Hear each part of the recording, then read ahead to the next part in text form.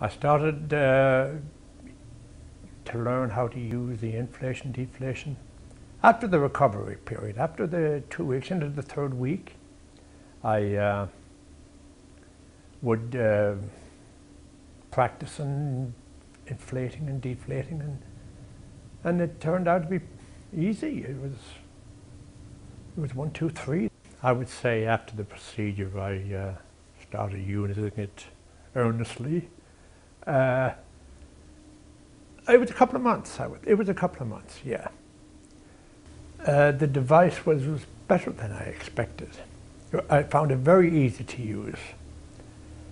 Um, and the person you're with doesn't know you're, you're, you're, you're using it. Um, you, you, it, it just takes a matter of seconds. There's no preparation. You don't have to prepare anything. You're there ready to go in just a, a couple of seconds and it, it's, it's better than I expected. It,